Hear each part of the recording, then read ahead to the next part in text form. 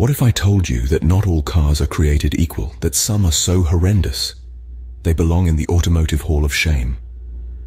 Now, we're not talking about cars that merely underperform or have a few design flaws.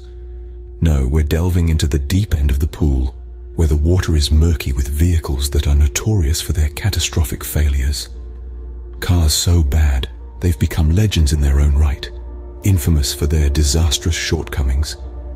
You see, what makes a car the worst is a blend of many factors. It's not just about the aesthetics, though let's be honest, some of these cars are a sight for sore eyes. But beyond that, it's about functionality, reliability, and performance. It's about how a car feels when you're behind the wheel and how it responds when you're cruising down the highway. But there's more to it than that. It's also about the time and context in which these cars were released. Many of these automobiles were born out of a misguided attempt to chase trends or to cut corners in production. They were released to a market that didn't want them or couldn't trust them. And so, they've earned their place in the annals of automotive history, not as shining examples of innovation and design, but as stark reminders of what not to do when creating a vehicle. So buckle up, because we're about to dive into the top 10 worst cars ever made. Kicking off our countdown at number 10, we have the Chrysler Crossfire. Now, this car might have seemed like a good idea on paper, but in reality, it was anything but. One of the main problems with the Crossfire was its performance. Despite its sporty looks, it failed to deliver on the road. The handling was uninspired and the power underwhelming. In terms of market relevance, the Crossfire struggled to find its place. It wasn't luxurious enough to compete with high-end sports cars yet it was too expensive for the average consumer looking for a fun, sporty ride. It was stuck in a sort of automotive no man's land. And then there was the design. Some people might have found it appealing, but many felt it was overdone. The Crossfire tried to blend modern and retro elements, but the result was a car that looked confused about its own identity. In the end, the Chrysler Crossfire was a car that promised much but delivered little. It was a car that was out of touch with what the market wanted and needed. And that, my friends, is why the Chrysler Crossfire takes the 10th spot. At number 9, we have not one but three disasters. The Hummer H1, H2, and H3. These models, while impressive in their sheer size and robustness, have garnered a notorious reputation in the automotive world. Their excessive size made them a nightmare to park, while their fuel efficiency, or rather inefficiency, made them a burden on the wallet. And let's not forget the impracticality of these vehicles for everyday use. Sure, they might be great for off-roading or for making a statement, but when it comes to the daily commute or a quick trip to the grocery store, they're more of a hassle than they're worth. Their over-the-top design, combined with their lackluster performance and impracticality, make them more of a spectacle than a practical vehicle. These Hummers are more bummer than anything else, landing them at number 9. Coming in at number 8, we have the Dodge Caliber. This compact car, produced from 2007 to 2012, was meant to be a replacement for the Dodge Neon. However, it ended up being a rather disappointing successor. The Dodge Caliber was criticized for its lackluster performance. It was powered by a range of four-cylinder engines, none of which provided the punch or the fuel economy one would expect from a vehicle in this class. The ride quality was also less than stellar, with many reviewers noting its harshness and lack of refinement. But the performance wasn't the only issue. The Caliber also suffered from what can only be described as an uninspiring design. It was a strange mix of a hatchback and an SUV, with a boxy shape that failed to excite the eye. The interior didn't fare much better, with a low-quality feel and a lack of comfortable or high-tech features. And that's why the Dodge Caliber is our number 8 on the worst cars list. At number 7, we have a car that tarnished a legendary name, the Ford Mustang II. Now, when you hear the name Mustang, you're likely to imagine a sleek, powerful machine, a symbol of freedom and the open road. But the Ford Mustang II, well, let's just say it didn't quite live up to the legacy. Released in the mid-70s, this vehicle was supposed to be a more economical, compact version of its predecessor.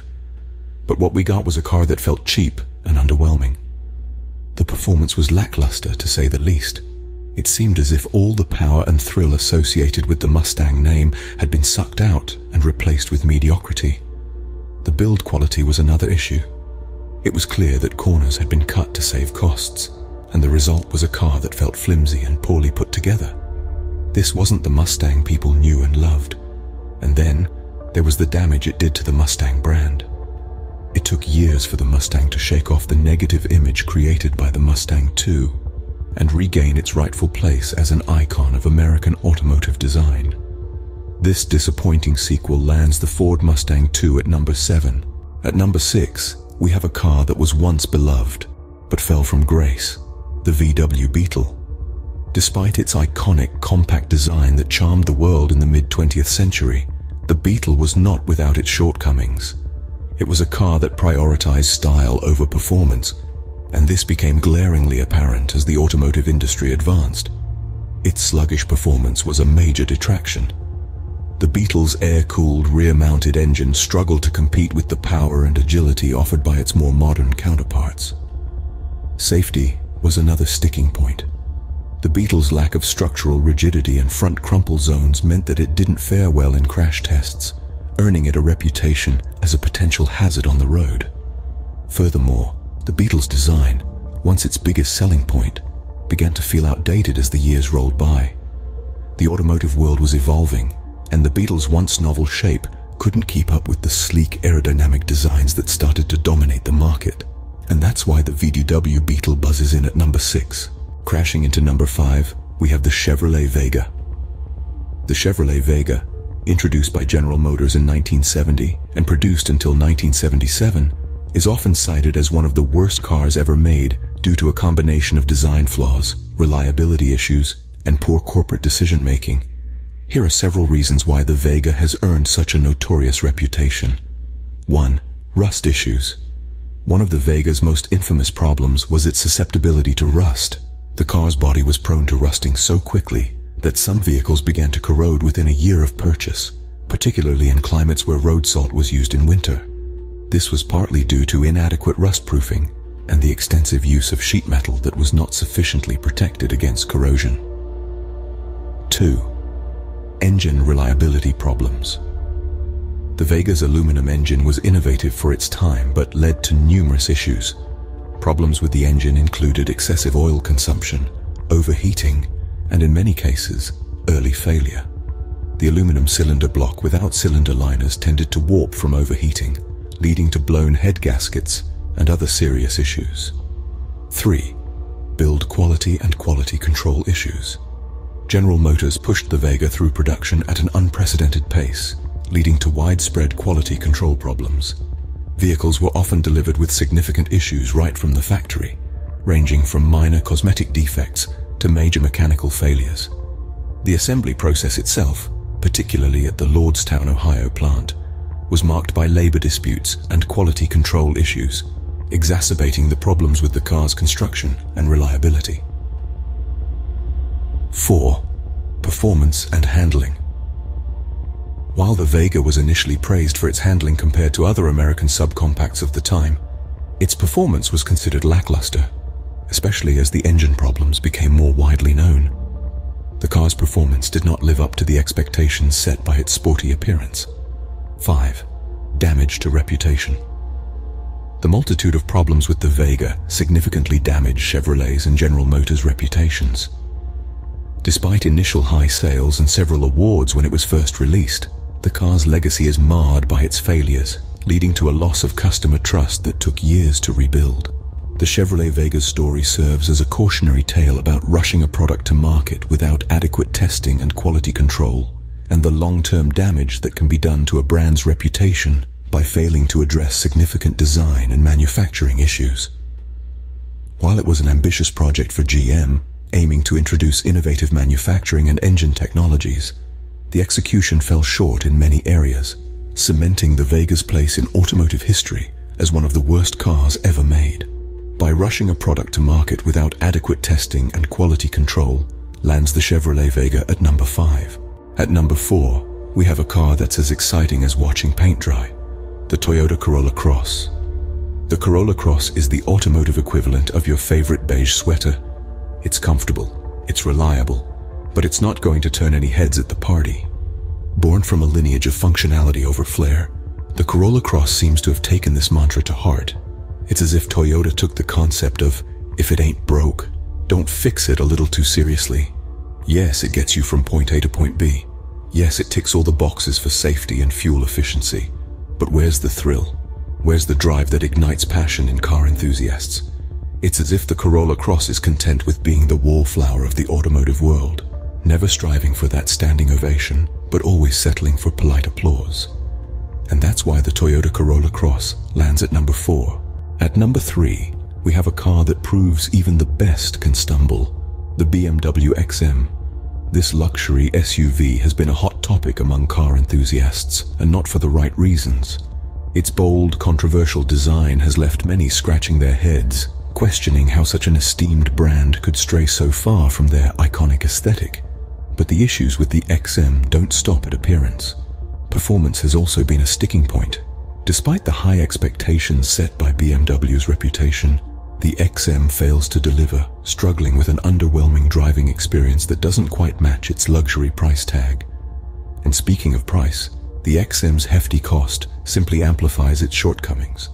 With so many other options in the luxury SUV market, it's hard to justify the XM's high price given its controversial design and subpar performance. And that's why the BMW XM takes our bronze medal of shame. At number two, we have a car that's as ugly as it is disappointing, the Pontiac Aztek. This vehicular monstrosity is a standout example of how not to design a car. With its awkward angles and mismatched features, the Aztek's aesthetic is a painful reminder that not all experiments are successful. But the Pontiac Aztek's problems go beyond its ghastly exterior.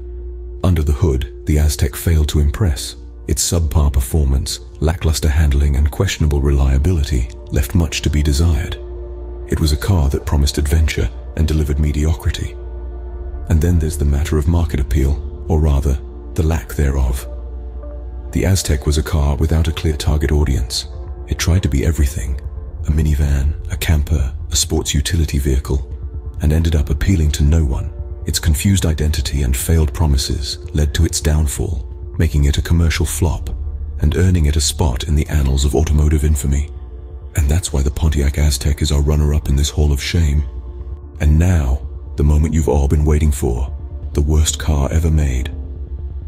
Crashing into number one, we have the Ford Pinto, a car that, unfortunately, is remembered more for its safety failures than for its accomplishments.